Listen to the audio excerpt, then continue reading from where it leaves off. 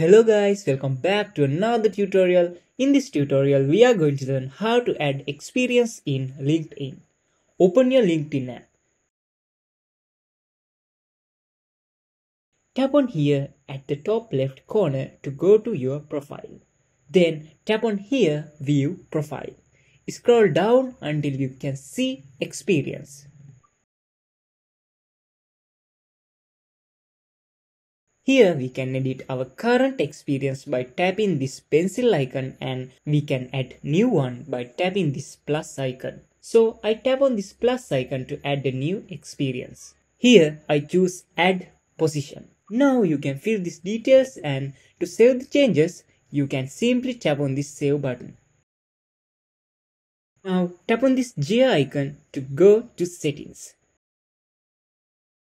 Select visibility from here. Next, select this option.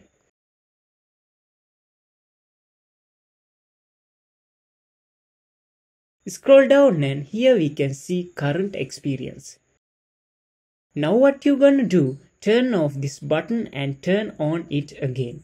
Okay, now you are done. Hope this video was helpful for you guys. See you in the next video.